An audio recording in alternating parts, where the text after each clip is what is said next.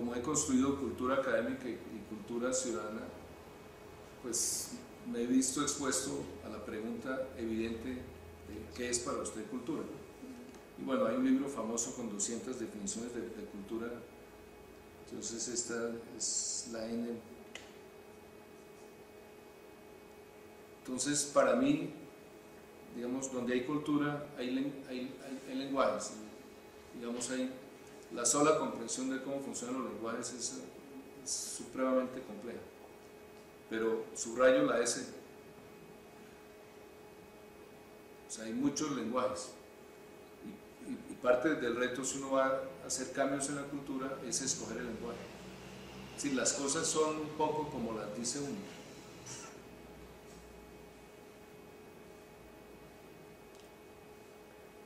El lenguaje permite descripciones,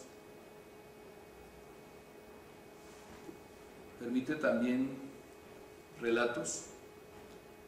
El relato es una forma, digamos, relativamente cómoda de, empaquetar mucho contenido. Escoger el hilo del tiempo y colgarse de ahí.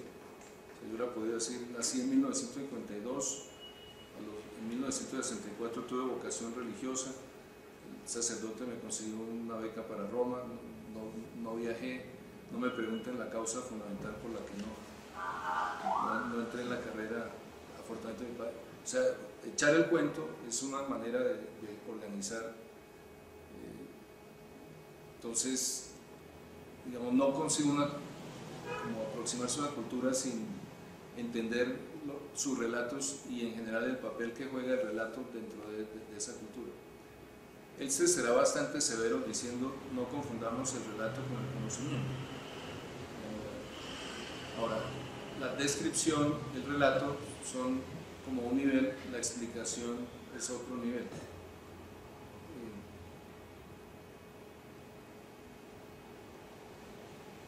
Pues añadirle expectativas hace un par de semanas y eso es trampa, por eso le, pongo el asterisco o sea, en, mi juego, en mi comprensión, no ocupaba un papel importante esa especie de prefiguración de lo que puede esperar el otro. Sí tenía, sí había usado el, concepto de expectativas muy restringido, así, frente a la ley hay derechos, frente a las normas legales uno tiene derechos, frente a las normas sociales o las normas morales uno tiene expectativas.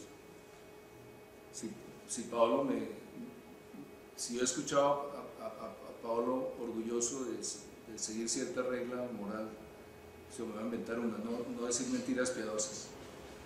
Entonces yo esperaría de él y, tendría la expectativa que no va a decir mentiras piadosas. Si dice una, de pronto le digo, yo no me esperaba de usted tal cosa, yo me esperaba de usted tal otra. Entonces, digamos, el poder regulador de las normas informales, morales y, y sociales estaba está basado en generar expectativas, no generan derechos. Sea, usted me dijo que siempre me iba a decir la, la, verdad, pues, pues usted me, me, me, formó esa expectativa, pero yo no puedo ir a un juez a decirle, él me dijo que me iba a contar siempre todo.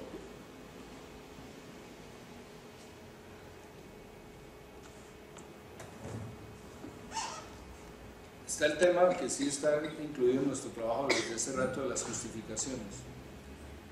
Es decir, el, comportamiento humano se acompaña de la posibilidad de que alguien diga, oiga, ¿por qué hizo eso?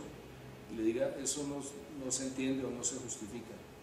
Entonces, el, uso de justificaciones es clave y, la justificación es de la conducta individual de la regla. si me caso, debo poder dar cuenta en algún sentido de por qué me caso. Pero también hay la pregunta de por qué se casa así, de esa manera, con ese rito, en ese sitio, etc. Y está la justificación de la transgresión. Si usted hace un taller de corruptos con honestos sobre corrupción, o incluso háganlo con solo honestos, y, y pongan a escribir las justificaciones por grupos, justificaciones del comportamiento honesto y del comportamiento deshonesto. Casi siempre, por lo menos en mi vida siempre, ha salido más larga la lista de justificaciones de la transgresión. O sea, el que transgrede pues necesita rollo, necesita discurso para, para poder poner la cara. Entonces se desarrollan probablemente mejor o más los argumentos a favor de la transgresión que a favor del orden. El orden se, da en cierto sentido por, por, supuesto, hay una especie de consenso a, a priori.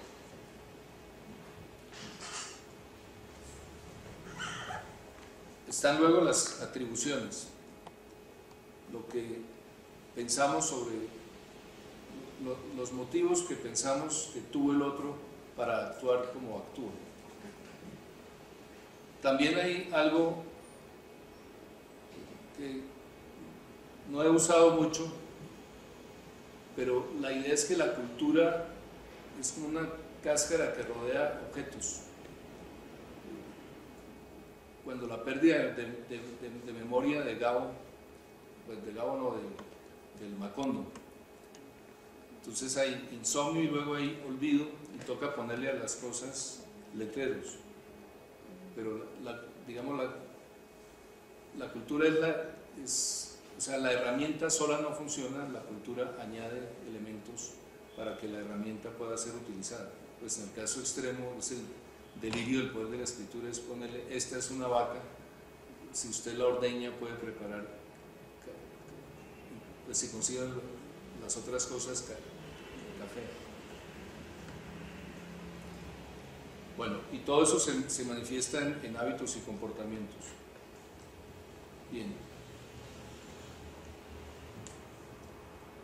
Basil Bersen es un sociólogo de la cultura, sobre todo un sociólogo de la educación, y construye un concepto supremamente ambicioso que es el, de código.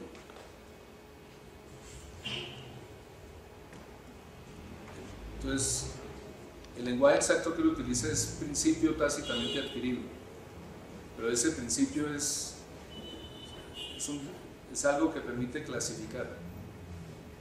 Por eso lo, lo puse como delimitaciones. Entonces, primero nadie le enseña uno los códigos, expresamente, muy rara vez alguien le dice, en ese contexto de su repertorio de conductas, por favor, saca esta y mete esta. Esto es aceptable, esto no es aceptable. Entonces, el, el, código permite distinguir contextos. aquí todos los que estamos tenemos claro que estamos en el contexto de una conferencia. Eh, hay comportamientos que no son aceptables aquí. Eh, si alguien se acostara con un aeropuerto buscando acomodarse en las sillas, pues habría maneras de hacerle sentir que se está saliendo del código. Yo alguna vez en, la, Facultad de Bellas Artes me acosté sobre la mesa, pero con, digamos, los propios artistas me han dicho que uno dice más con un gesto que, o, con una imagen que con mil palabras digamos, si yo Ortica hubiera empezado acostándome sobre la mesa, me hubiera incomodado. Entonces, el código es un principio que, compartimos, que hemos adquirido tácitamente y que permite distinguir contextos. Y a cada contexto le amarra una semántica, le, le amarra unos significados que son legítimos.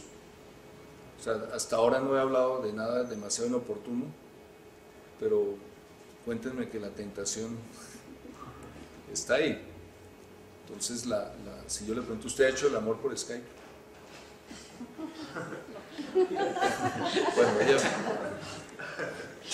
bueno, no, no hago ningún comentario porque me salgo del código. Sí. ¿Y la experiencia que es hacer el amor por teléfono después de haberlo hecho por Skype? Porque no bueno. entonces la, pues hay gente en la Facultad de Derecho de la Nacional en, los años 91, 95, hubo un grupo de derecho que, era, que se inspiraba mucho en, teorías de la desconstrucción y lo que hacían era interrumpir el funcionamiento de los códigos normales. Entonces un ex rector está en el Colón y uno de estos estudiantes se sienta y le coloca un paquetico de papas fritas junto, al pie, pero además se las arregla para que él se dé, se dé cuenta. Como este rector, ex rector, había ayudado a echarlo, entonces alcanzó a pasar por, por temores. yo era rector, a mí me comisionaron notificarle al estudiante que había sido expulsado. Durante el proceso, el estudiante, que era estudiante de Derecho, estaba explicando, argumentando, era la escena más feliz del mundo, pero ahora tocaba echarlo. Entonces lo invito y le pregunto, ¿usted se sigue declarando anarquista? Me dice, sí, soy anarquista. Entonces le digo, en la hoja de vida de un anarquista, una expulsión es una distinción. Y listo. Es decir, ahí pudimos encontrar dentro de los códigos que compartíamos como un elemento para cerrar la conversación sin, sin transgredir el código. O sea, si, no hubo ninguna agresividad de él conmigo ni, mía con él.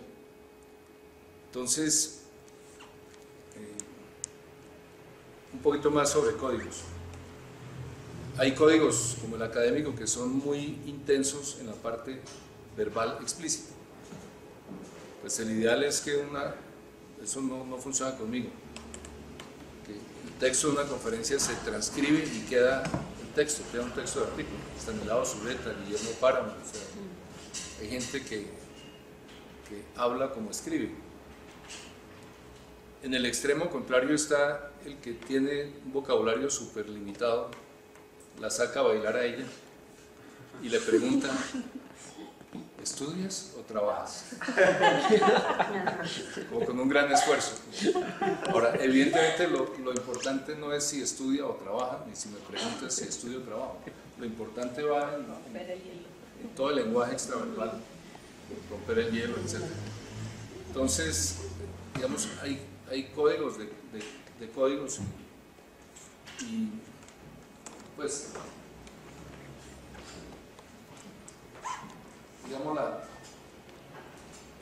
mi tesis es que aunque se puede intentar trabajar sobre la norma social aislada, eh, en algún sentido se altera fuertemente el código. Eh, en palabras de Maki, Maki dice, la experiencia UNICEF y otra experiencia que nació de abajo para arriba, de lucha contra la infibulación, en ambos casos comenzaron unas prácticas para un economista muy exóticas, mirando unos pósters, unos, afiches con fotografías muy bellas eh, y con textos muy cortos. Entonces yo averigué que, era eso. Entonces me dijeron, no, los derechos humanos.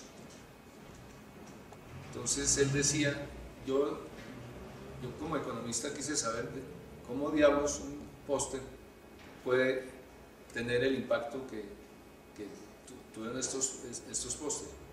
Entonces se reúne con, con, la gente y le dice, estos textos que quieren decir para ustedes. Y prácticamente la mitad de la gente responde, ese es el, el mejor resumen que conocemos de nuestros sueños, nuestra utopía. Así debe ser la humanidad. Y la otra mitad de la gente dice, ahí está pintada toda nuestra tradición, toda nuestra sabiduría.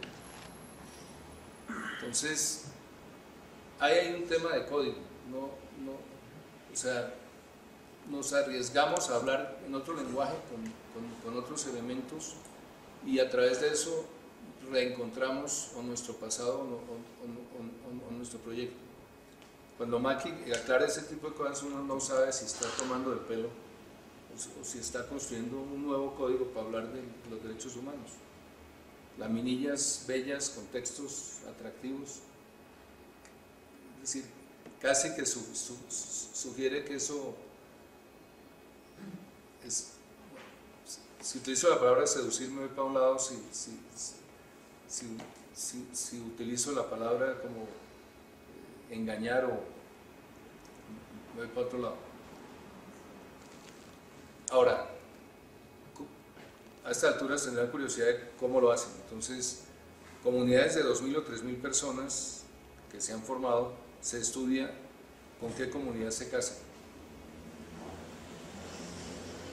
digamos, la, la estructura por lo general es exogámica. O sea, no es la gente casándose dentro del, del poblado, es buscando otro poblado. Se hacen dos procesos educativos coordinados que desembocan en una fiesta, una semana cultural. Y en el momento central de, de esa fiesta, ¡bang! Una, una mujer toca un tambor, un gong, y dice, a partir de ahora, ni una sola niña mutilada. A partir de ahora, ni un solo niño educado en prejuicios contra las mujeres no mutiladas. Es coordinación. Si usted no coordina las dos cosas, tiene problemas. Es como sacar el carro del lado izquierdo pasarlo al derecho en las vías, en Inglaterra. Si se va a hacer, hay que hacerlo todos de una vez. Si no, el caos es muy, muy fuerte. Bien, entonces,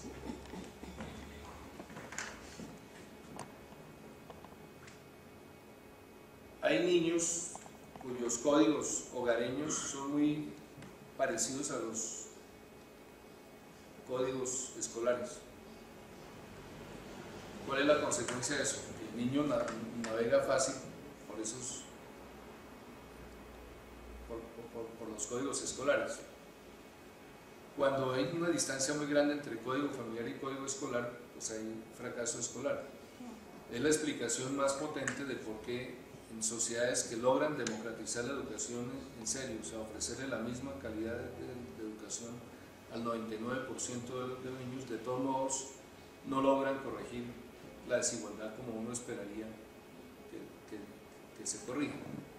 Sigue habiendo mucha desigualdad. Bersen habría trabajado sobre, eso. Una idea muy linda de, de, Bersen es la idea de clasificación. Para él, las relaciones de poder se expresan es- espacial y tem- sobre todo espacialmente. Y lo que llama clasificación es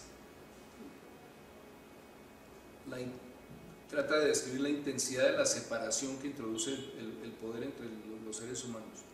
Y la enmarcación es algo más relacionado con el tiempo, con el ritmo. Entonces, estudia sistemas educativos.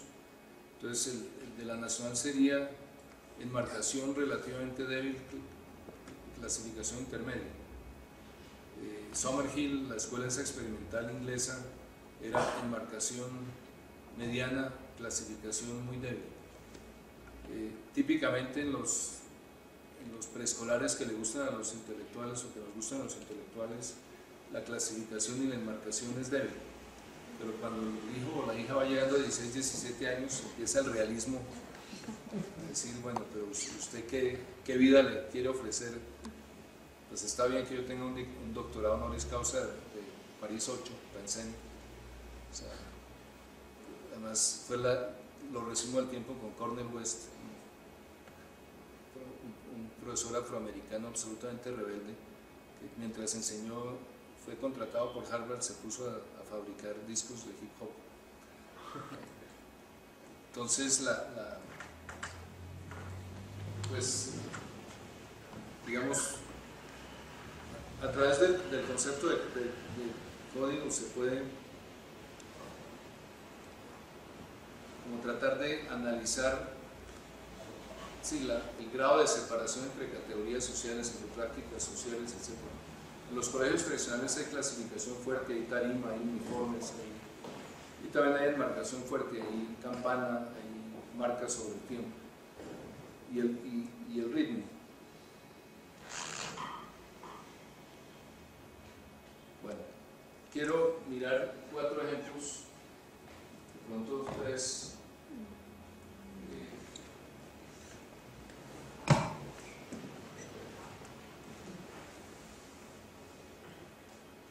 Sea, aunque me- en alguno de los textos de Maki, él dice esas maneras tan raras de hacerla, o sea, el, el que hace Antanas, para él no hay lugar a dudas, que es reformar normas sociales,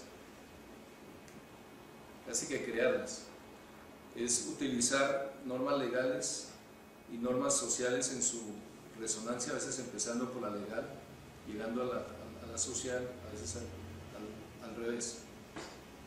Y según él, lo que hicimos fue sembrar una metanorma social, una gran norma social, que es, oiga, hermanitos, la ley es para obedecerla. La ley es un invento chévere. No es la jaula que usualmente creemos. Donde hay leyes que se cumplen, hay derechos. Por cada vez que la ley le, ordena a uno haga tal cosa, le ordena a otros respondan a tal demanda de tal manera. Bien, entonces, quiero compartir con ustedes la situación en la que estamos. Es muy curiosa, o sea, estamos trabajando con gente que no es, bueno, Elser sí es la élite académica a escala planetaria. Eh, es la élite planetaria en materia de conocimiento aplicado a, cambio social medible tangible. Eh, nosotros tenemos una encuesta para medir cultura ciudadana que recoge nuestras teorías, volveré sobre, sobre la encuesta, pero en cierto sentido somos eh, periféricos en cuanto a nuestro, nuestra capacidad de utilizar herramientas estadísticas sofisticadas. Entonces estamos en, una, en un periodo muy bonito de llamémoslo así, de consolidación de relaciones internacionales, donde a veces somos como el, disco latino que no quiere aceptar que haya una sola manera de preguntar sobre estos temas. A veces nos sentimos como lo que describe Luis Vidales en un poema muy bonito que se llama Superciencia. Luis Vidales fue fundador del Partido Comunista de Colombia, fue estalinista hasta el final de sus días y fue también historiador de la estadística en Colombia y poeta.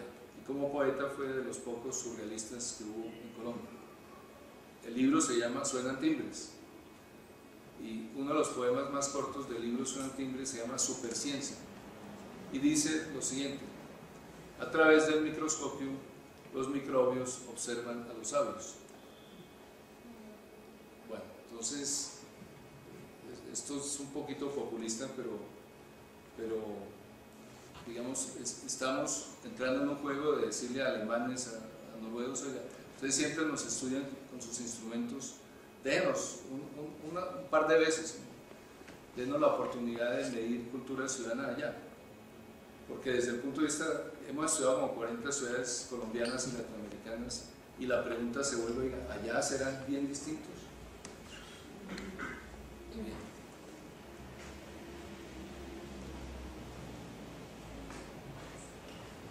Entonces,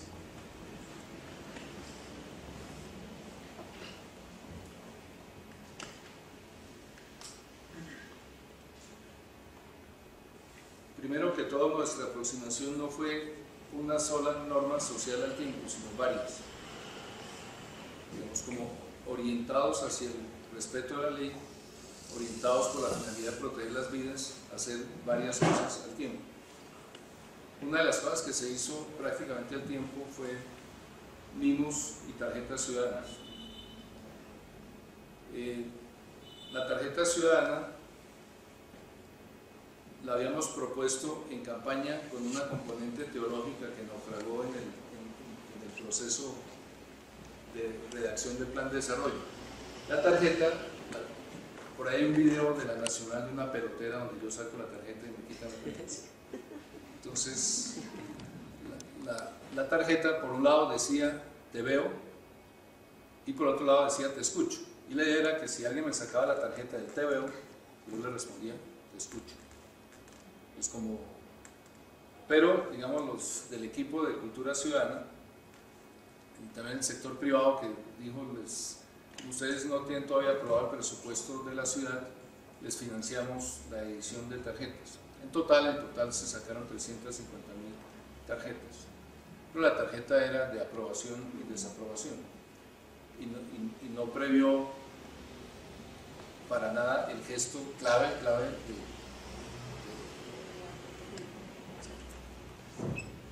si me regañan, les digo gracias,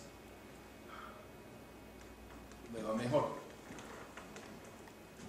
¿Están oyendo bien allá atrás?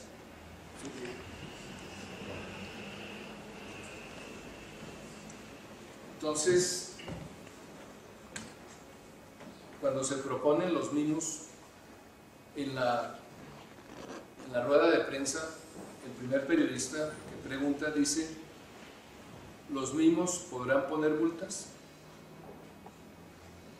Entonces yo explico que no, no es fácil de habilitar jurídicamente a un mimo para que ponga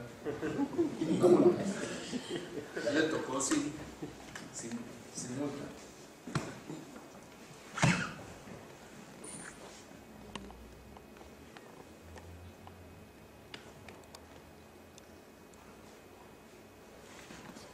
Bueno, ¿cuál era el ver, en lo que pasó en Mimos, tarjetas ciudadanas, cinturón de seguridad, confluyó mucho el, momento histórico en que se encontraba la televisión. Bogotá no tenía televisión propia. Entonces lo que pasara de televisable en Bogotá, lo que, lo, que fuera televisable, o se perdía para siempre, o salía en canal nacional y con sintonía mucho más grande en la ciudad. O sea, nadie puede lograr la sintonía que lograron los canales nacionales. O sea, City TV, Canal Capital, etcétera, son 5 o 6% de, de, la audiencia. Entonces tuvimos el milagro de tener a la audiencia de Bogotá ahí, viendo lo que pasaba en Bogotá. Entonces los mismos que operaron en 300 metros por 300 metros, una fracción absolutamente pequeña del territorio, operaron en toda la ciudad, incluso en algún sentido en el país.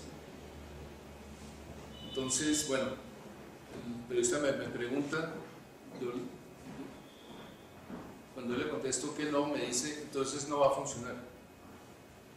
Y, digamos, ahí descubrimos un, un elemento clave, clave, es que la gente cree, no, pero voy a dañar una, la gente cree que los demás entienden a las malas.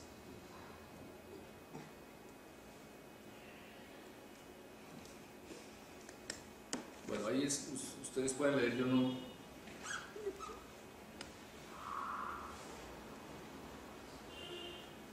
Entonces, de algún modo, el semáforo, la esquina, la cebra pintada se vuelven los elementos de reconocimiento del, código. Y la persona común y corriente, si ve que el carro se parquea sobre la cebra, se, tiene, digamos, la, la certeza casi de que puede actuar como pidiéndole al carro, oiga, un poquito para atrás, déjeme pasar. O le toca el carro, no, no con rabia, no con... Es decir, uno de los problemas más terribles es que a veces la gente necesita para saltar el umbral para la acción del regaño, necesita ponerse bravo. O sea, tratarlo uno con rabia. Entonces uno, de los aspectos claves es regáñeme, pero suave, con cariño.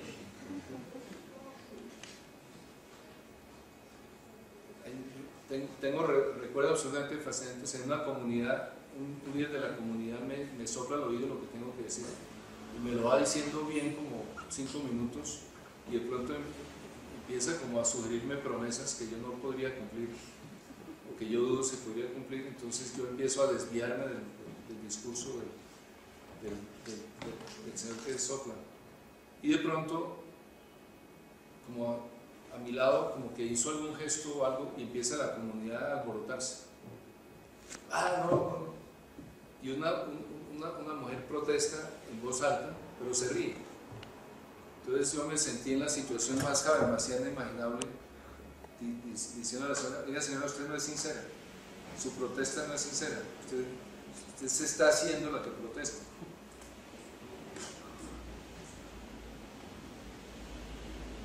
Bien, una cosa muy importante, si usted mira los insultos, los puñetazos, la bala, usualmente hay riesgo de escalada.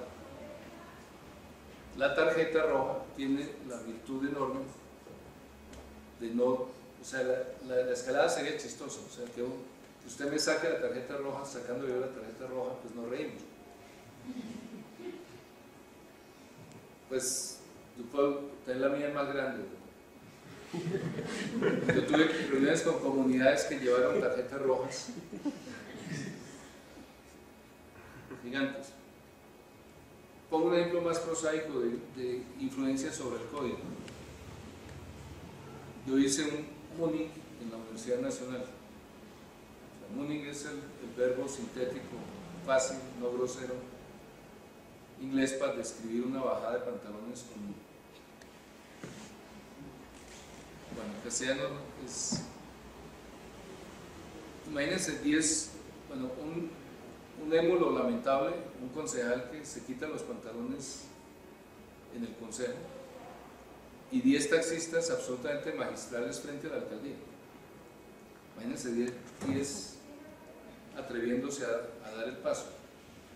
Ahora, todo eso tenía algo de explicación, que era opción por la violencia simbólica. Es decir, algo así como en nuestro código caben demasiadas acciones violentas, quitémoslas, pero permitamos otras formas de violencia. Así que estimulemos.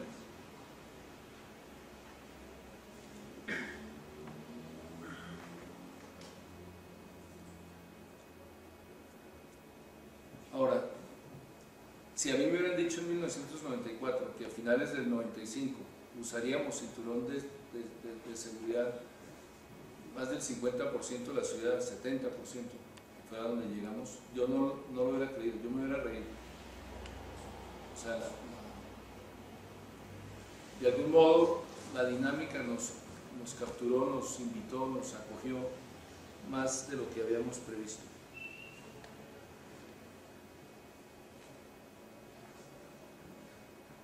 Ahora, hubo cosas que se conectaron entre sí mágicamente.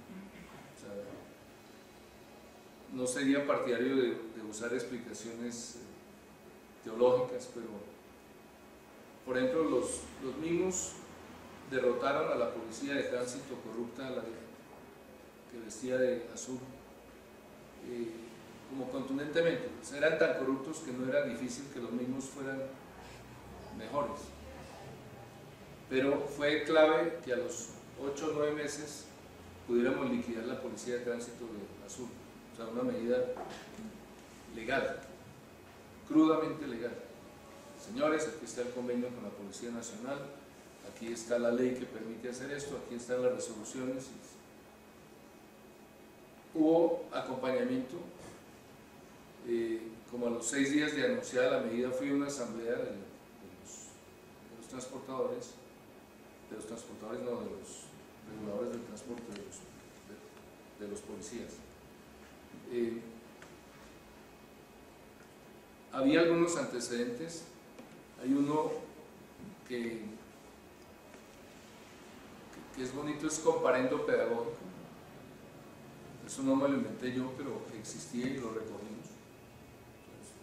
comparendo que no le cobran la multa que le podía cobrar, es la verdad que era la, la berraquera no está dentro del código. Eh, y lo, otro, bueno, en el patrimonio de la ciudad había lo de la ciclovía, que es clave para entender la idea de, de código.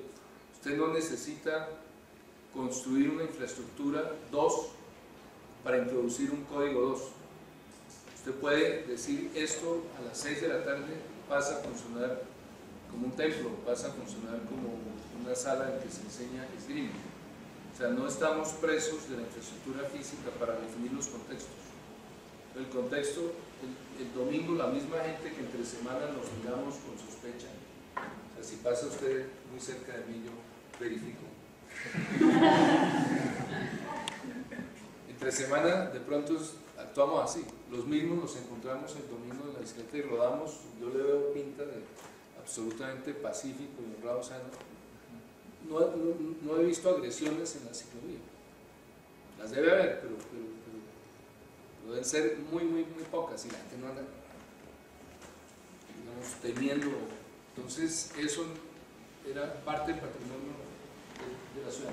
Ahí es chistoso porque frente al que dice que solo con multas se enseña, la ciclovía está lleno de peladitos y peladitas, jóvenes haciendo educación vial, viaje por la derecha, subo el puente a, pie. Un día iba yo sin casa y una niña se me acercó y me dijo, ¿me da su nombre, por favor, y su teléfono? No más, no me amonestó, pero era obvio. Era, eran, iban dos niñas, entonces, para, digamos, le pedían el nombre y la dirección. Entonces, digamos, usted puede ser muy sutil, o mucho más sutil de lo que es las maneras de corregir. bueno, había todo el juego de, palabras de armémonos de amor o armémonos con las tarjetas, las armas ciudadanas y toda una desautorización del arma de fuego y de los fuegos artificiales y la pólvora. Entonces, digamos, simplificado era tarjeta versus pólvora.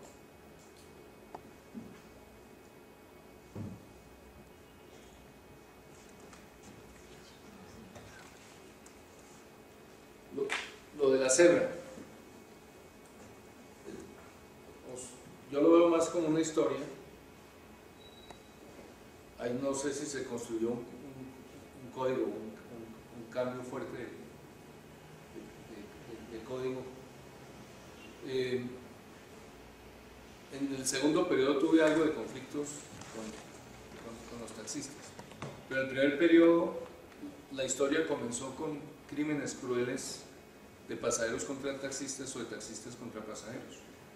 Entonces la desconfianza era tal que cada vez que alguien se subía a un taxi, digamos, la, gente ya identificaba la mirada identificadora. Si este tiene cara de... Entonces decidimos que había que construir una, una actividad, una secuencia de actividades de cultura ciudadana. Le pedimos a los empleados que toman taxi que si encontraron un, taxista que saludara, que lo llevara a usted donde usted necesita ir y no introdujera un regateo ahí sobre el destino. Y tercero, que le diera las vueltas completas, tómale el nombre y el teléfono. En menos de dos semanas teníamos un listado de 150 taxistas.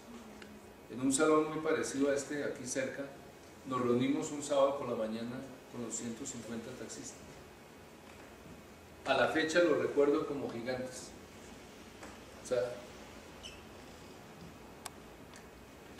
digamos, transformo en percepción otra percepción, que esta gente era honrada, en algún sentido más honrada que yo. yo estuve pensando al comienzo de la reunión diciendo, si yo fuera taxista, yo saludaría siempre yo llevaría a la gente siempre a, donde la gente quiere ir o necesita ir. Yo les daría las vueltas completas. Entonces la, bueno, la reunión fue muy curiosa porque les, les, dimos si querían ser caballeros de la cebra. Entonces preguntaron obviamente qué es eso. Entonces uno dice pues saludar, llevar a la gente a donde quiere ir y darle el vuelto completo. Pues como habían sido seleccionados porque cumplían esa, esa condición, no les costó ningún trabajo decir sí. Pero ¿y en qué consiste eso? ¿Qué, más hacemos? Ah, pues lleve una calcomanía en su carro. Soy caballero de la cebra, saludo. Una cosa súper obvia.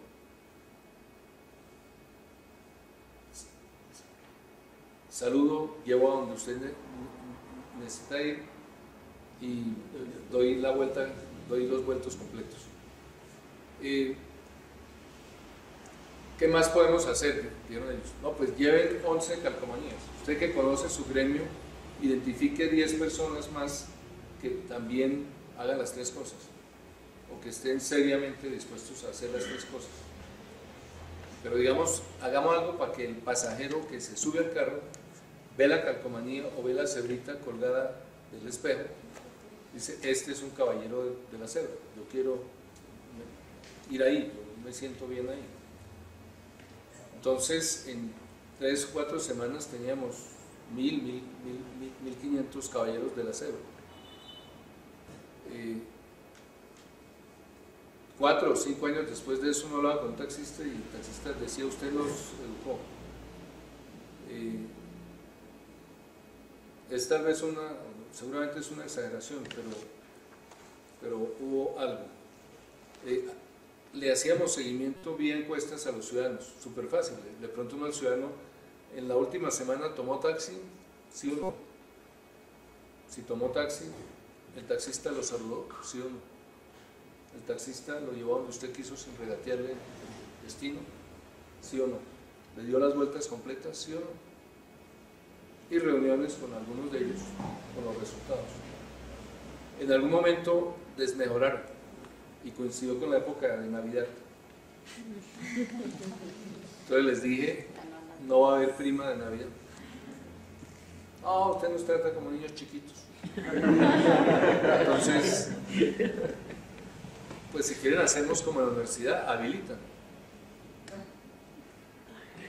Entonces, la semana siguiente fue chistoso, radioteléfono, ¿no? el, alcalde nos va a volver a evaluar, pues no nos dijo exactamente qué día, pero queremos que es esta semana. Entonces, ese pedazo es más adaptativo, menos bonito, menos, menos creativo, pero muestra, digamos, el grado de de compromiso que se generó en un juego que se construyó, digamos, como completo, es decir, sin los mimos, las tarjetas, sin los caballeros, los caballeros de la cebra, o sea, ahí, se armó como un, un microlenguaje, una serie de cosas que cada una casaba bien con la otra.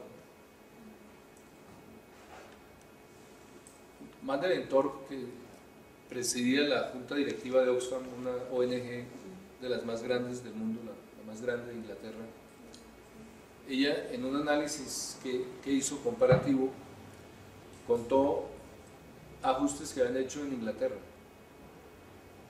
donde, por ejemplo, el problema de los tiempos de espera de las consultas y de las citas en los hospitales era, era el motivo de insatisfacción de todos. Eh, ella contó que, curiosamente, se lograron las metas de atención eficiente, pero el descontento aumentó. Porque, digamos, la energía se concentró demasiado fuertemente alrededor de un, de un problema. Entonces ella dijo, en cambio, yo siento que en Bogotá ustedes lanzaban una bola, no habían acabado de rodar esa, lanzaban otra y otra. Hay un dicho famoso que es no tories varios toros al tiempo. Yo recuerdo desde, antes, desde los tiempos de la rectoría, diciendo no, la buena gestión es torear varios toros al tiempo.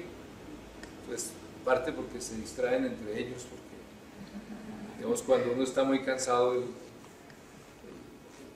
el otro ocupa el tiempo y sobre todo si los toros tienen un cierto parentesco como en su estructura lógica valores que ponen en juego, etcétera. Entonces uno puede decir, ah, para usted esto es lo mismo que para estos otros allí.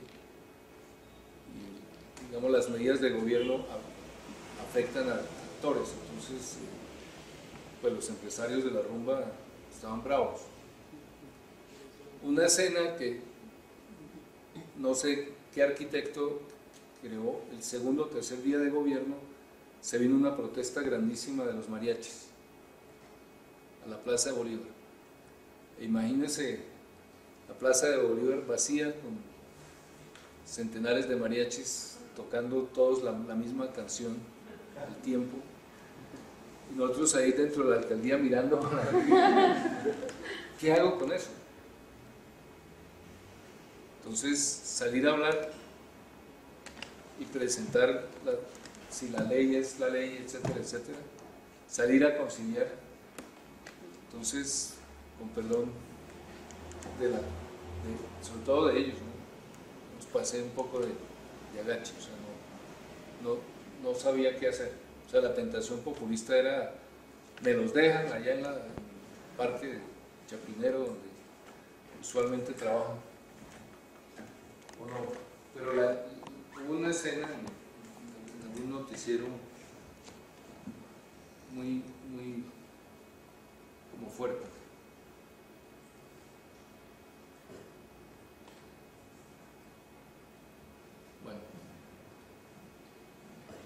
esta es una especie de, tareita que me traté de, poner.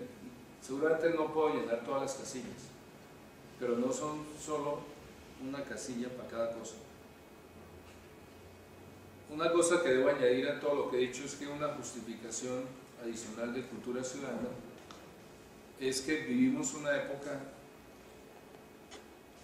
esto tal vez me lo cuestionen ustedes, en donde hay más paz que nunca entre culturas.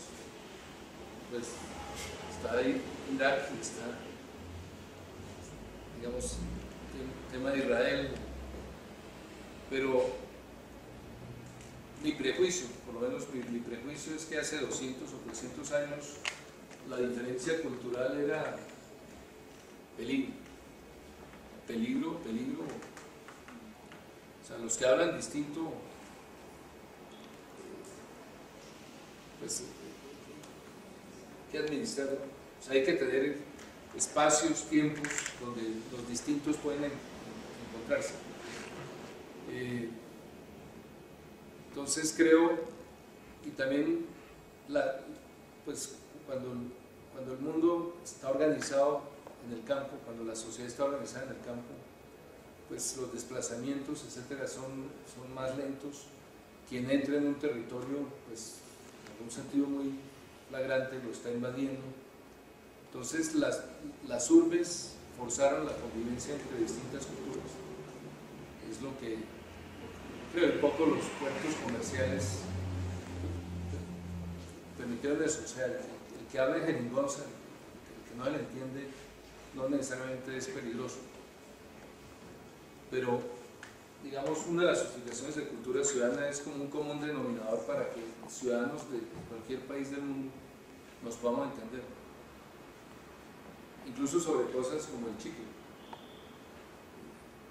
Marcelo Ebrard, el anterior jefe de, gobierno, era un obsesionado al chicle.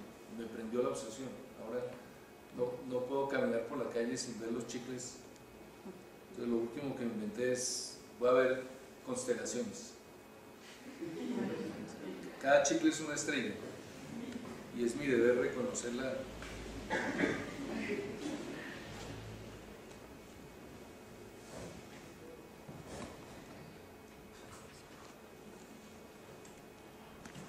Bueno, esto es, hubiera podido empezar por aquí. Esto es versión actualizada, digamos, en la discusión de marketing.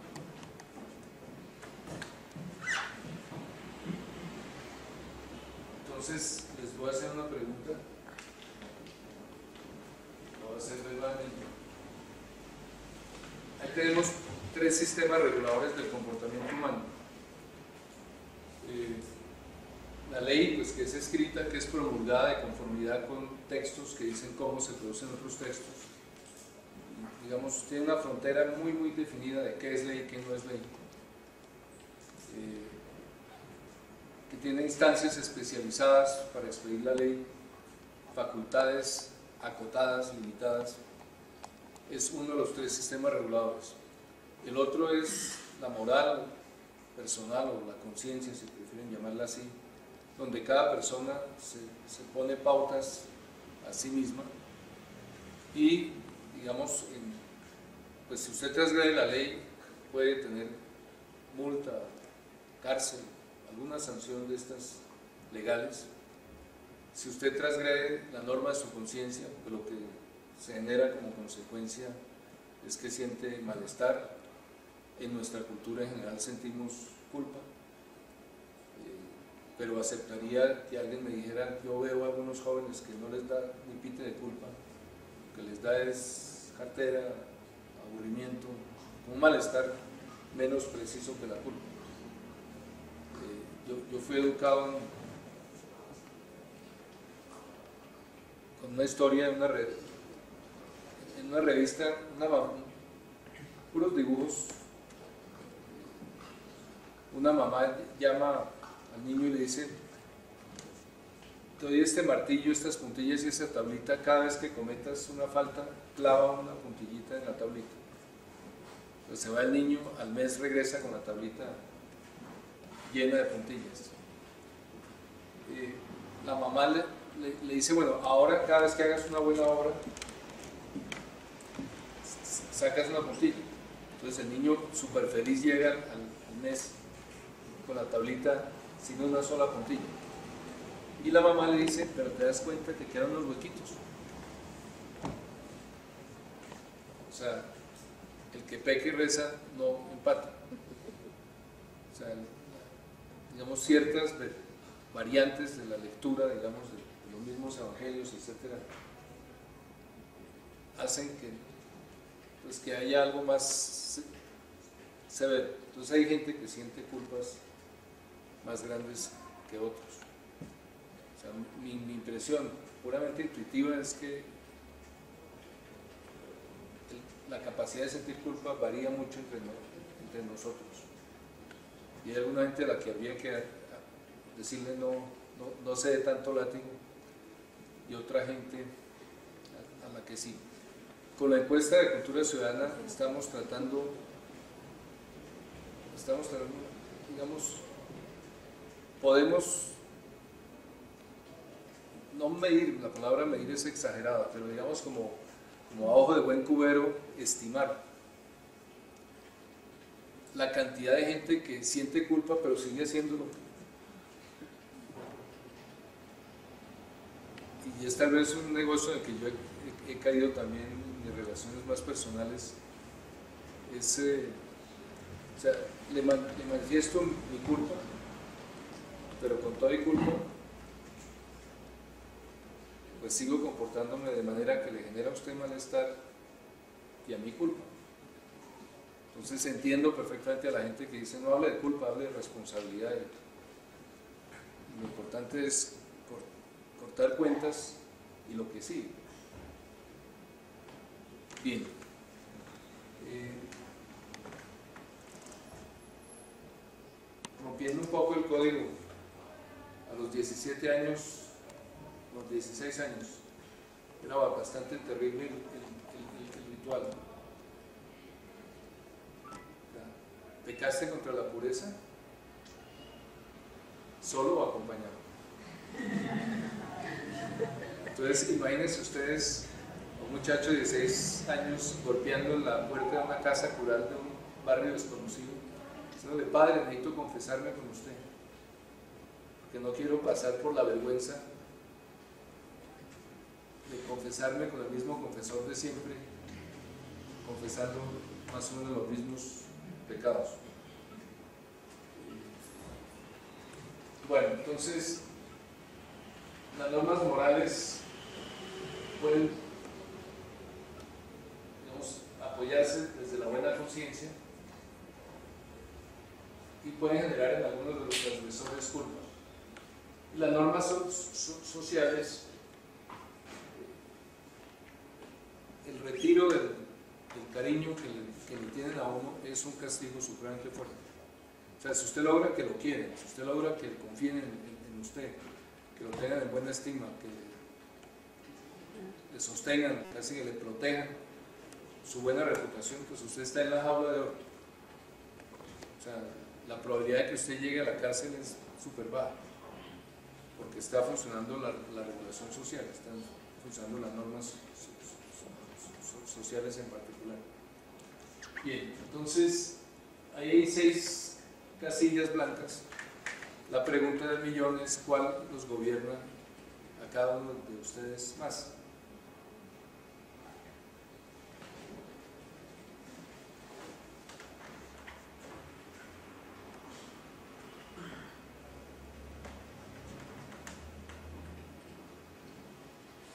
Es una pregunta rara porque implica una especie de promedio metodológicamente extraño, o una pregunta por jugar. ¿Quiénes se sienten gobernados sobre todo por,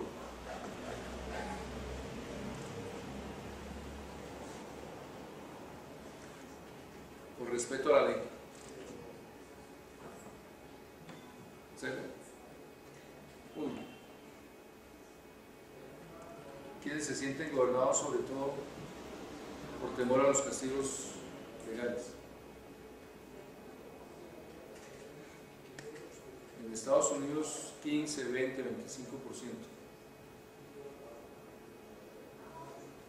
¿Quiénes se sienten gobernados sobre todo por la buena conciencia? Por la conciencia por los buenos. Tomemos la foto. ¿Quiénes se sienten gobernados sobre todo por el temor a la culpa? Somos dos, tres. ¿Quiénes se sienten sobre todo gobernados por la estima, por la aceptación, reconocimiento? Seis, siete. ¿Quiénes se sienten gobernados sobre todo por el temor a, a perder la estima, el reconocimiento, por el rechazo social, la vergüenza que produce el rechazo social. ¿Quiénes? Bueno, algunos levantaron la mano varias veces. Es que ese no sería como el mismo, pero Sí. eh, que digamos la estima la aceptación, pero por lo contrario entre el mismo grupo. Sí, es muy parecido. Lo, lo que pasa es, digamos, pérdida de, de estima supone que uno ya tiene estima. O sea, digamos, mi, mi- lectura es que la, los castigos legales operan sobre todo a través del... Es, la tesis elsteriana, son las emociones, por dicho, las reglas se cumplen también por argumentos, en algún sentido se cumplen por interés, especialmente si uno no, quiere que le ponga una multa de 200 mil pesos por hablar en celular, etc. Entonces, hay momentos en donde eso es como racionalidad pura, como la de los economistas. Pero la culpa ya es distinta. La culpa usted tiene una emoción. Usted aquí puede tener miedo, si la cárcel es más efectiva por el miedo que produce que por las transformaciones que producen los individuos que llegan a la cárcel. O sea, la cárcel es básicamente para mandarle un mensaje al que todavía no ha llegado a la cárcel. Nosotros, paréntesis, barrimos la cárcel un 6 de enero con reincidentes de faules a contravenciones. Era una sanción de interés social. O sea, el vender pólvora no es algo que, que amerite cárcel. Pero un poco el mensaje era, señores, si ustedes siguen transgrediendo las normas, van a llegar algún día a la cárcel. Pero, digamos, la segunda columna, buena conciencia es también como conciencia sin culpa, conciencia en paz. Entonces, no estoy de acuerdo en que la definición del de abajo, que es negativa, no, que cualquiera de las dos definiciones puede llevar a, la otra. Y lo probable es que si usted obedece a la culpa, pues andar sin culpa lo, lo- hace más feliz. Eh, esto ha sido dis- discutido muy rigurosamente por gente como Daniel Kahneman, que se- según la cual el, el ser humano es sensible sobre todo a variaciones, los niveles absolutos no importan tanto. O sea, un ejemplo típico, si usted le baja los ingresos en un 20% a cualquier miembro de la sociedad, la frustración que debería ser mucho mayor en la gente con menores ingresos, eh, la, frustración es, pareja. Eh, sí, hay, una especie de, lo llaman efecto de dotación. Sea, ustedes, suponen, digamos, por este, de, una de las explicaciones de, este fenómeno es aversión a la pérdida. Si usted pierde 10.000, no queda en paz encontrándose 10.000.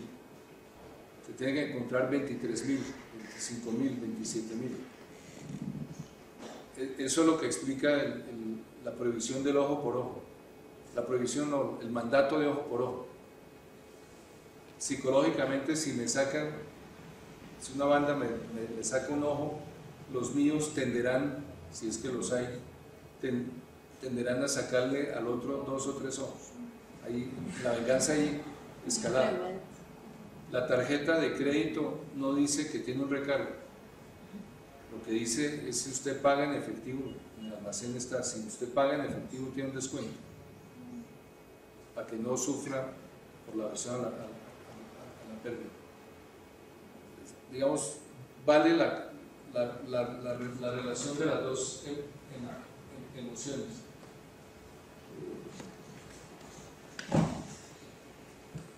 Cabe también suponer que, existe algo de traslapo, o, más bien que existe un, un vacío. O sea, entre la buena conciencia y la conciencia culpable.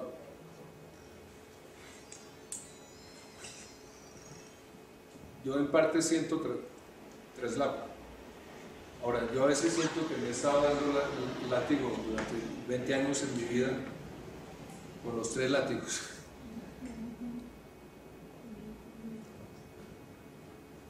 El otro día me puse a, revisar si cierto tipo de conducta era delito, entonces... Eh,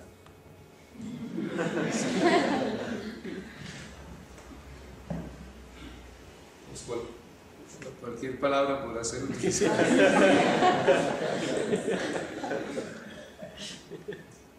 Bien. Ahora, ¿a, cuál de los, de los seis tipos de mecanismos obedece más el ciudadano común y corriente?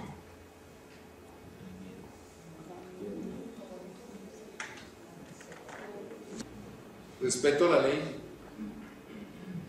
¿Quiénes creen que el ciudadano común y corriente, teniendo las seis opciones, escogería respecto a la ley? ¿Cómo? Yo, pensaría por un castigo, o sea, por el miedo al castigo. Entonces, ¿quiénes creen que el ciudadano común y corriente obedece sobre todo un castigo legal? O sea, más en la parte negativa diría yo que pensándolo por el lado positivo. Bueno, entonces hay, hay varias manos. Buena conciencia. Mala conciencia o sentimiento de culpa. Estima, aceptación.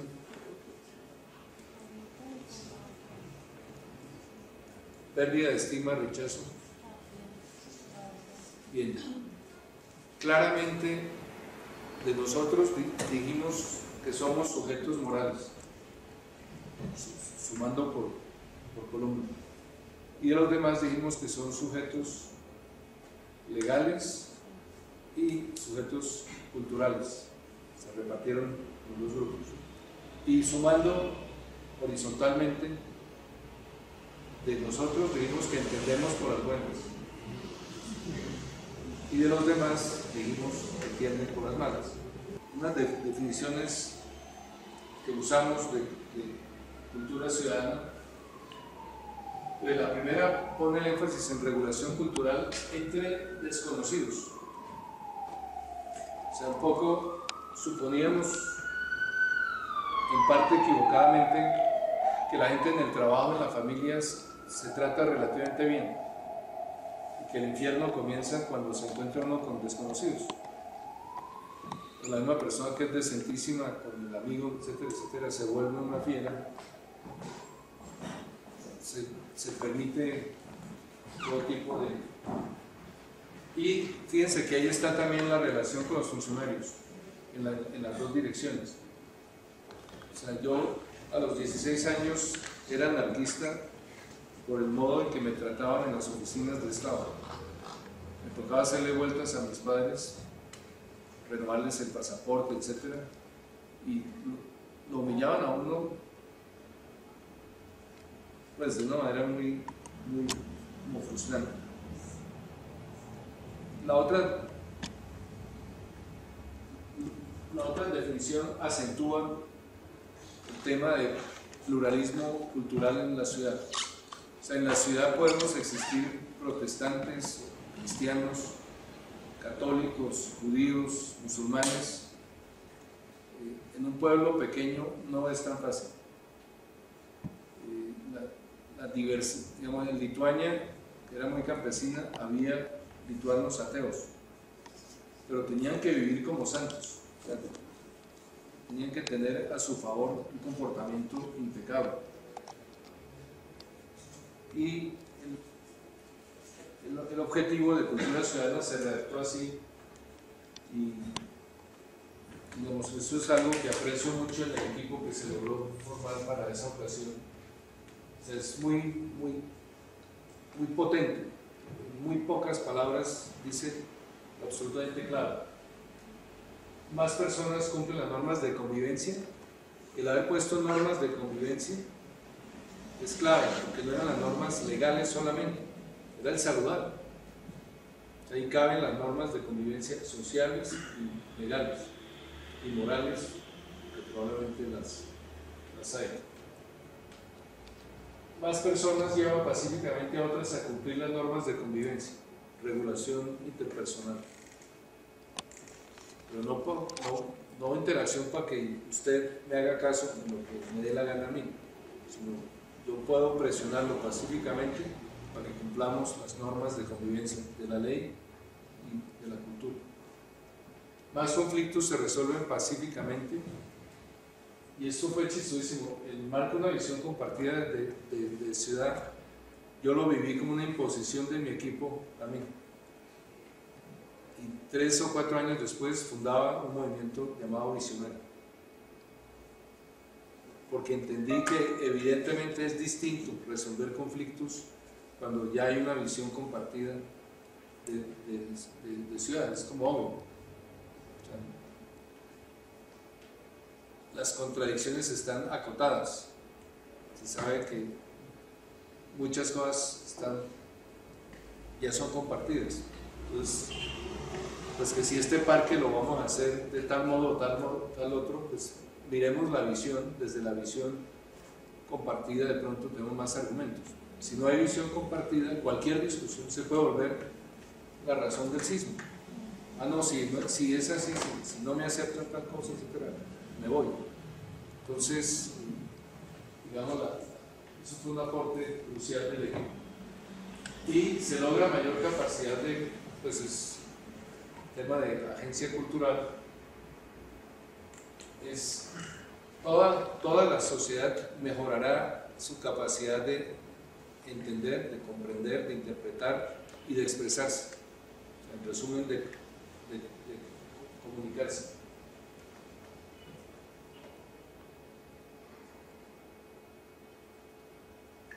¿Qué pasa cuando, digamos, qué efectos tiene este enfoque en economía? Entonces, digamos, primera impresión, primera hipótesis, esto no le va a gustar a los economistas, esto es ajeno a su mundo, a, a su lenguaje. Cuando va a Asombros, Salomón Kalmanovitz nos pasa en el 94, finales del 94, antes de empezar el primer gobierno, nos, pasa un libro de Douglas North y descubrimos en Douglas North un teórico de las normas formales e informales con una tesis absolutamente contundente, clara, que es donde la gente no obedece reglas, formales o informales, o donde las reglas son contradictorias. Las formales dicen trabaje 48 horas a la semana y la informal dice tranquilo que en realidad son 95. Las cifras que estoy dando son las de trabajo buses y busetas según el Fondo de Prevención Vial. O sea, un estudio de ellos mostró prácticamente el conductor se dobla la jornada normal. Entonces, donde las, estas normas no están, no son coherentes entre sí, celebrar acuerdos es dificilísimo. Y lograr que los acuerdos se cumplan, hacerlos cumplir, es costoso. Douglas North estima que en países como Venezuela o Colombia se nos va la mitad del PIB en costos de transacción. O sea, no es imaginable una sociedad con cero costos de transacción. O sea, usted, usted tiene que dar pasos para lograr llegar a un contrato, a un acuerdo. Eh, pero las energías y el tiempo son Entonces, si están alineados, los acuerdos son más fáciles de hacer y más fáciles de hacer cumplir. Espero que esto no moleste a los abogados aquí presentes. La fuente es un poco precaria, es la mejor que, he conseguido. Es abogados por, mil, mil, habitantes. Entonces son tres y medio por mil en Colombia. En Japón son 0,16. O sea, tenemos veintitantas veces menor densidad de, mayor densidad de abogados que Japón. Entonces, Japón es para mí una sociedad altamente regulada desde la cultura. Sea, es un síntoma de altos costos de transacción, que hay mucho abogado. Ahora, si fuéramos como Uruguay, no importa tener tantos abogados, pero digamos si la sociedad logra una cultura democrática de obediencia a la ley, de solución democrática a los problemas, pues vaya y venga, pero en Colombia es la paradoja de que con ese extraordinario ejército de abogados no logramos contener la violencia, no logramos contener la trampa.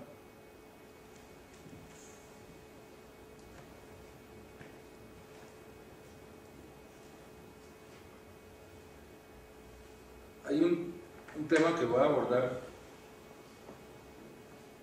que tiene que ver con las emociones, porque son acciones que causan emociones y son acciones a veces causadas por emociones. Es el tema de homicidios y suicidios. Entonces, no sé si sabían esto. En el mundo hay más suicidios que homicidios. En Japón, por un homicidio hay 24 suicidios. En Colombia, por un suicidio hay 7 homicidios. Al japonés hay que cuidarlo de él mismo. Colombiano tenemos que cuidarlo del otro. Traigo esto en apoyo también a la idea de que no es la economía la que genera el nivel de violencia, es mucho más la cultura o la, manera en que la cultura responde a emociones y, ayuda a administrar emociones. Este es un mapa mundi muy raro. Sobre la horizontal está el, eje de cuántos suicidios por 100.000 habitantes. Entonces, Corea del Sur y Lituania tienen las cifras más altas de suicidio. Colombia es esa, bonita amarilla.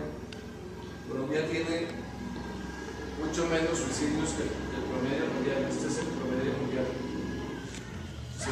Hay la mitad o menos de los suicidios que, le corresponderían por cada 100.000 habitantes. Pero en homicidios estamos volados en este momento sería 32 contra 8, cuatro veces más violentos que mundo. Ustedes miran qué países son violentos, con dolor reconocen que casi todos, no decir todos, son latinoamericanos.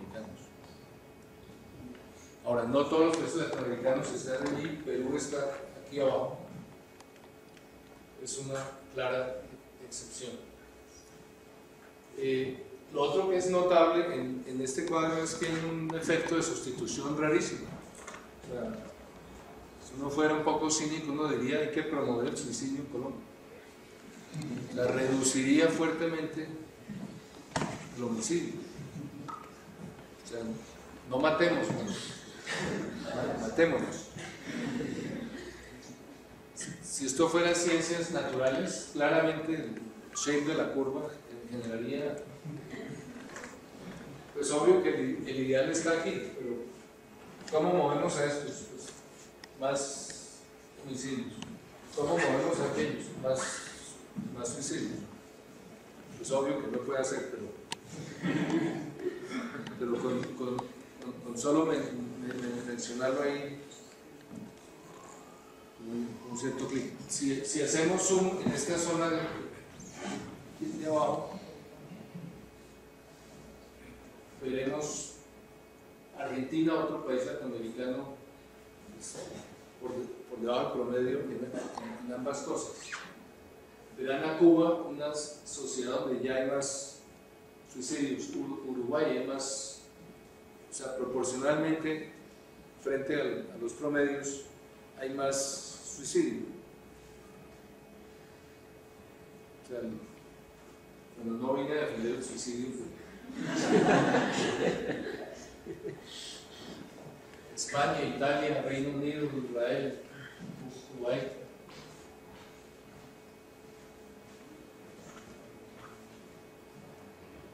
Ahora voy a abordar el, tema de, las, de la encuesta de, cultura ciudadana. El Consejo de, de la Ciudad nos, Centro nos impuso, nos recomendó altamente hacer una encuesta para medir si los programas de cultura ciudadana hacían efecto.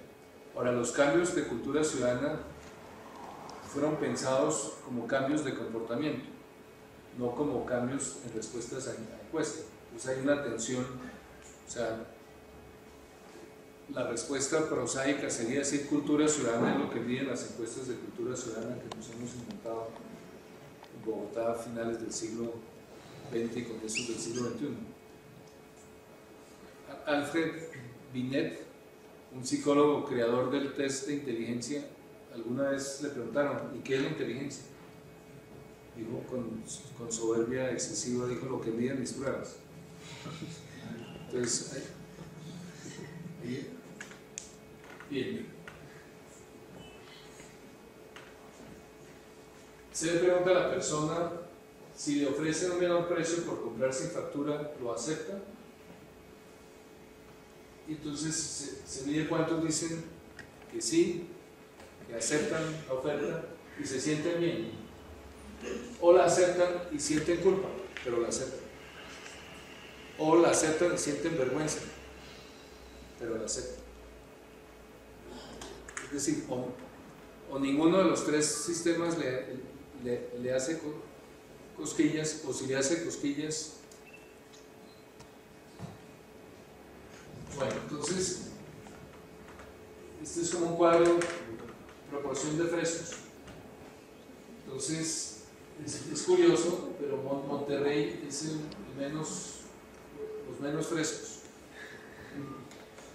Y por, por La Paz y por Belo Horizonte, sociedades ciudades bien distintas parecerían haber la, el mayor o se ve, digamos,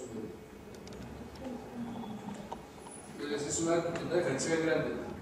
El, el, promedio para el total de las ciudades es 32% y dos ciudades, entonces o hay menos campañas por cobro de IVA o hay algo en la cultura.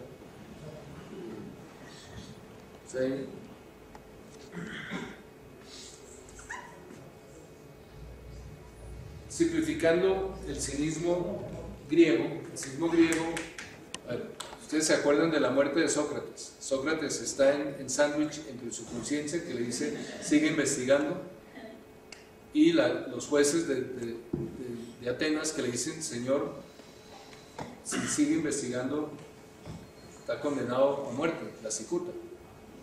Entonces Sócrates dice, no puedo ni desobedecerme, ni desobedecerle a la ciudad. Entonces se toma la cicuta. Los cínicos se ponen claramente en ese dilema del lado de, de su conciencia. Si mi conciencia me ordena investigar y educar, por más que eso no le guste a los jueces, qué pena, es mi conciencia. Entonces, de algún modo el cínico es el soberbio moral. Tengo las cosas tan claras que aun si la ley me dice lo contrario, mi conciencia es la que dirime en últimas el, conflicto. Entonces,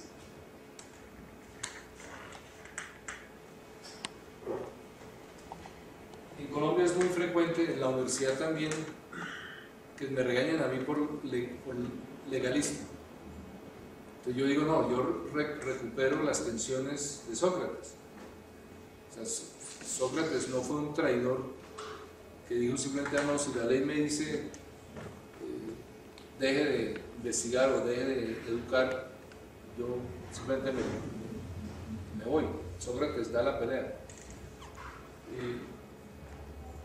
Entonces, aquí qué pasa? El horizonte también es la más alta. Eh, Medellín, México la segunda los 67, Medellín, Quito están cerca, Bogotá está por encima de, Quito y de Medellín en un punto, y Caracas es la que está, junto con Monterrey, son las que están más, más abajo. Ahora, evidentemente un solo, un solo dato así pues, es de interpretación riesgosa.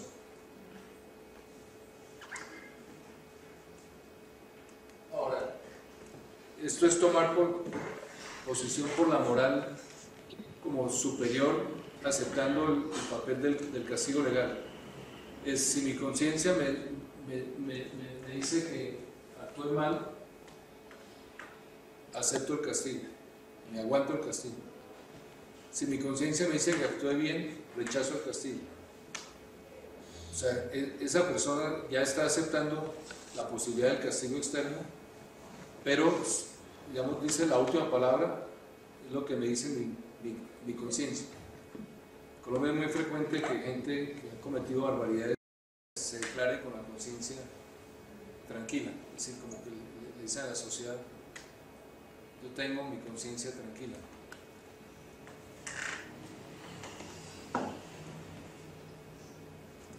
Ahora, si mi conciencia me dice, bueno, ya, ya lo dije, los porcentajes que responden esas dos cosas están ahí, son más bien bajos, el promedio es 17, y la variación es muy pequeñita, pues con un pico en Belo Horizonte y Monterrey.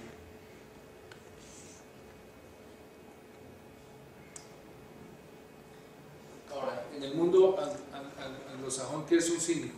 Un, un cínico es alguien que piensa que los demás entienden solamente por las malas, que los demás tienen motivaciones bajas. Es un pesimista sobre los demás. No he podido encontrar un, documento que me permita descartar una de las dos opciones que hay sobre qué piensa el cínico anglosajón de sí mismo.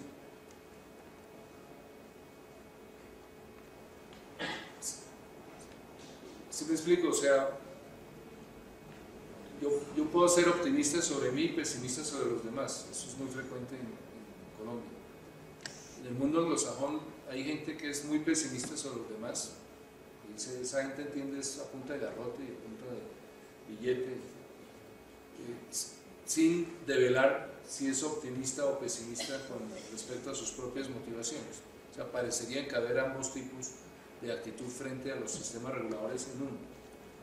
Entonces, cynicism en, inglés es pesimismo sobre las motivaciones de- del otro. Entonces, ¿quiénes serían los, los más cínicos en el sentido de los sajón? Medellín, México, eh, Quito, perdón, Bogotá está cerquita, Quito eh, está más abajo. Y el más bajo de todos sería Caracas. Entonces, fí- fíjense que esos re- re- resultados so- sorprenden un poco. O sea, por menos mis prejuicios sobre Caracas, eh, los datos de homicidios en Caracas, eh, la percepción de seguridad en Caracas y de pronto la- es la gente menos mal pensada de las ocho ciudades estudiadas. Ahora, son estudiadas en, en años distintos, o sea, todo esto está lleno de, digamos, dificultades metodológicas. Y parte de lo que hemos tenido una especie de terrible privilegio es investigar bajo condiciones de presión práctica y no tanto de presión, digamos, ri- ri- rigor técnico. O sea, nos tocaba salir con la encuesta de cultura ciudadana, más o menos como logramos mejorarla, no podemos decir, esperen señores del Consejo dos años más tarde, les traemos una encuesta perfecta. Entonces a veces miro,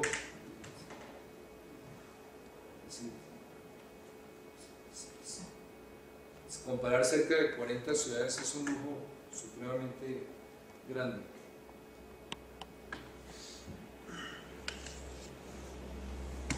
Esto lo, provisionalmente lo, hemos llamado cinismo machista. Es algo así como, no me asusta, sea, usted me va a poner cárcel, pero pues, no, no- no importa, no va a variar mi, mi- mi comportamiento. Es, o sea, es gente que reconoce que alguno de los tres sistemas de, de regulación en lo que se le pregunta no, no opera. Decir, o no tiene miedo a la cárcel, o no tiene miedo a la culpa, o no tiene miedo al que dirán. Entonces, ahí el promedio es 85%, los más altos son Quito, Be- Belo Horizonte, y el más bajito es, es Caracas del Nuevo.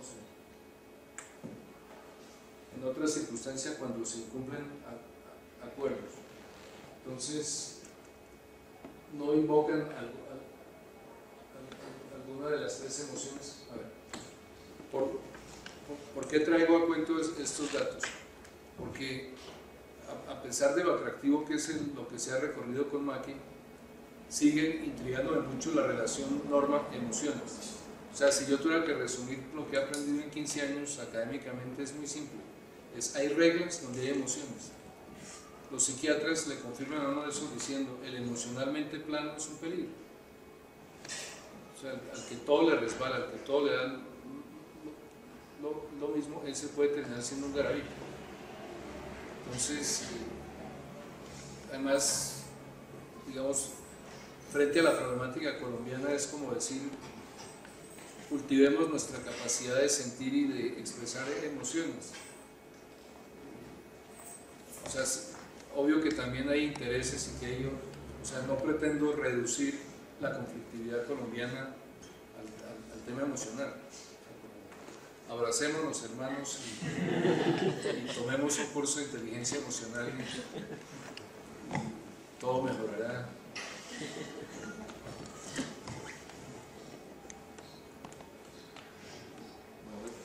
Esta es otra parecida. Los que justifican violencia o ilegalidad en respuesta a honor ofendido. Entonces, el tema del, honor es un típico tema machista. Allí, La Paz y México, Quito. Tal vez Quito es de lejos el mayor. De los más bajitos, Monterrey y Bogotá, Bueno.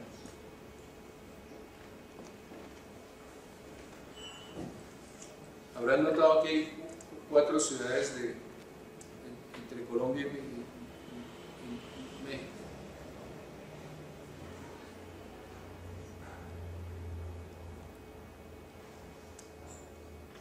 Machismo que llamo extremo es el que justifica ya no violencia o ilegalidad, sino violencia e ilegalidad. O sea, es- si me tocan el honor, justifico ilegalidad y justifico violencia. Entonces el porcentaje es, por supuesto, más, más, más bajo. Hace un rato vimos el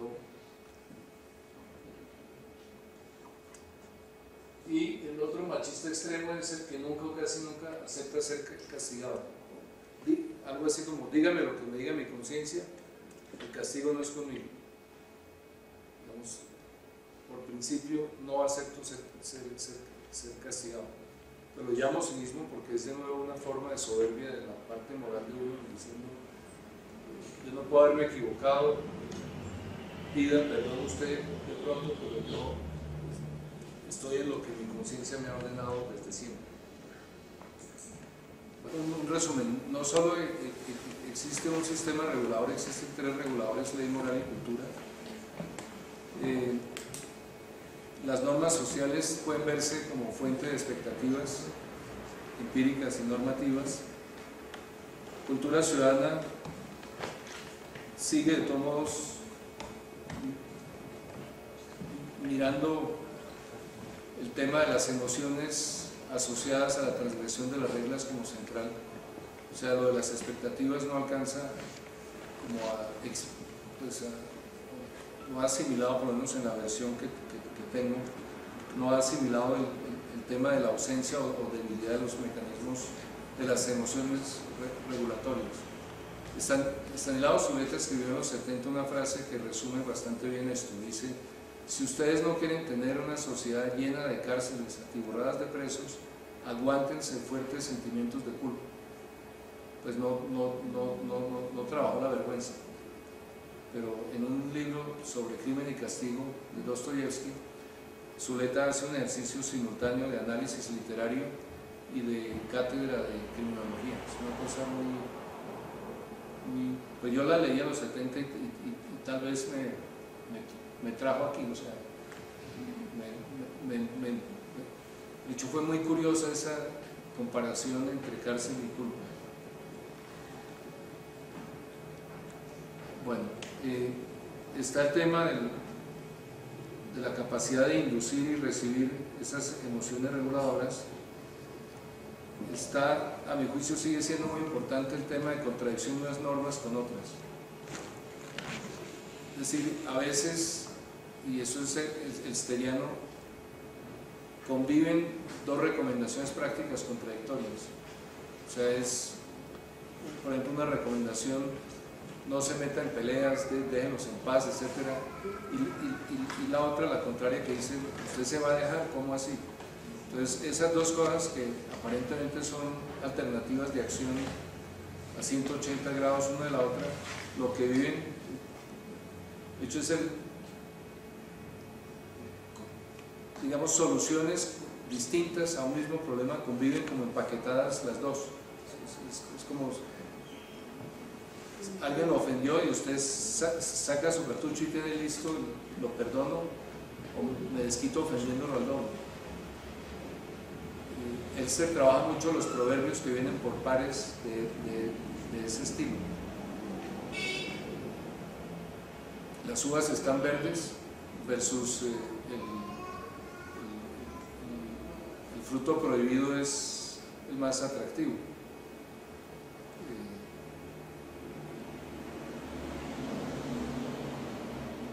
Y termino con esto que es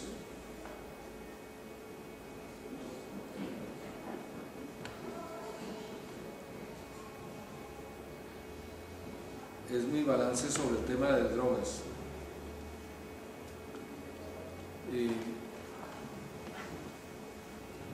Yo no creo, como cree el presidente Gaviria, que la política del mundo haya fracasado totalmente. O sea, si se compara con el objetivo de cero drogas, obvio que fracasó. Pero digamos, en la discusión de si hay que seguirla o no seguirla o ajustarla, etcétera, creo que hay algunos avances que no se pueden desconocer. En Europa, porque se le dio un enfoque de salud, se, le quitó el tema de cárcel, se le quitó un poco el tema moralista y se abordó el tema de cuidemos su vida. digamos, busquemos bienestar dentro de algunas restricciones. Entonces, bueno, ustedes conocen el modelo de, reducción del daño. Y Estados Unidos también ha logrado reducir ciertos consumos. Con el crack se dio una disminución fuerte, el crack era supremamente metían gente en la cárcel y el número de distribuidores y de consumidores permanecía estable. Hay actividades delictivas que tienen un recambio inmediato y otras que no. Entonces, eh, digamos, el mundo no está absolutamente feliz con la política antidrogas, pero tampoco es que esté desesperado por cambiarla. Los que estamos desesperados por cambiarla somos México, Colombia, Honduras, Guatemala, parte del, del, Caribe, México por supuesto, porque para nosotros sí significa niveles altísimos de violencia y niveles altísimos de corrupción. O sea, el Estado se pone en juego en la lucha contra los narcos. Pues no es casual que se hable de declararle la guerra y 60 mil muertos en una guerra de seis años es una cifra muy grande, Con esto, ¿qué, qué digo? El conocimiento sobre normas, sobre la relación normas sociales, normas legales, es parte del instrumental que tienen nuestras sociedades para enfrentarse a esas circunstancias.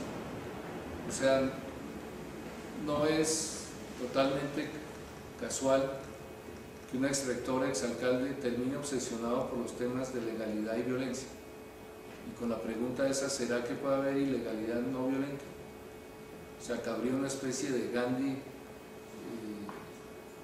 de lo ilegal